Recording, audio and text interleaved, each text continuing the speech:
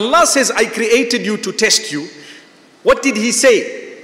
Testing about what? He says, to test you who from amongst you has better deeds. To test you who from amongst you has better deeds. That's all. Allah says, I created death and life in order to test you who has better deeds. Which means I need to work as best as I can to please Allah. In the meantime, there will be, you know, when there is a test, what happens? What happens in a test? You go into your exam room and you are tested mathematics. So, do they just test you what you want? Everything will be nice, smooth, sweet, calm. No. You will work hard. You will go into the exam room at the right time with the right uniform, at the, in the right place, sitting in the correct position, making sure that you don't copy, you don't cheat. You are looking at your paper. You are praying that it's going to be easy. You are praying that it's going to be easy. And you start answering. The first question, one plus one, mashallah. You know the answer, two. Very easy, right? It is so easy that if you were asked that question for O or A levels, you might think there is a catch here. You might think there is a catch. Imagine you come for your examination O level. First question, one plus one.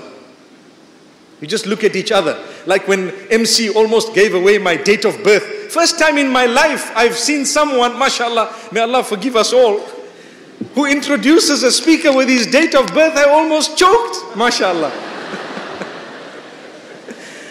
mashallah, mashallah, tabarakallah. Just as well he didn't give the year.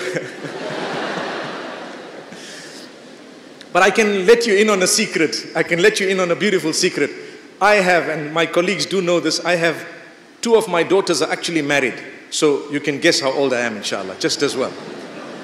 And that's not a lie, that's, a, that's the truth. So may Allah subhanahu wa ta'ala bless us all. If you were to enter an exam and you hear something that is quite simple, you will be a little bit confused to say, how come this is so easy? Allah says, in life, we will test you with ease. It's a test. When we give you, it's a test. When we take away from you, it's a test. Everyone, now, now I'm getting to my topic, okay? Everyone and everything that we have put around you is part of your test. You have snakes as your test. You have giraffes as your test. You have kittens and cats that you may choose to be your pets as snakes. You may have birds as pets as snakes. Those which are, sorry, as, as, as uh, a test. You may have that which is harmful as a test, that which is beneficial as a test. All these are tests from Allah subhanahu wa ta'ala. Your brothers were chosen by Allah as a test for you. Your sisters chosen by Allah. You did not choose who's going to be your brother or sister. So much so you did not choose your father or your mother. That's your test. Why? Because Allah created you different from everything and everyone. You are unique. You are you. You are so different that your thumbprint, your iris print will be completely different even from your own mother and father. What are you going to do about it? So now let me take you to the exam room again. When you are asked a question, you will be asked addition. This is a mathematics exam. After addition, do they say, fine, you passed? No. They will test you with subtraction. Okay, what is 1 minus 1? Why subtraction? Because now we need to know whether you have mastered that subject, right? So Allah tests you by giving you. After a little while, what does He do? He takes away from you. He tests you again. How did He test me? He took it away. What did He take away? Something I loved, gone. Allahu Akbar. What do we say when we lose a loved one? May Allah give them Jannatul Firdaus. We say, Inna lillahi wa inna ilayhi raji'un. Have you ever pondered to think what it means? I don't know if you have the same crisis we have in other parts of the world.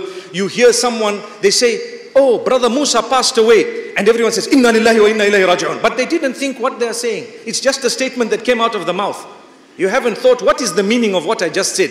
It means we all actually do belong to Allah. And we're all going to go back to Him. Not just the one who passed away, but all of us are going to go there. It's a reminder to all of us to say, I'm also going there.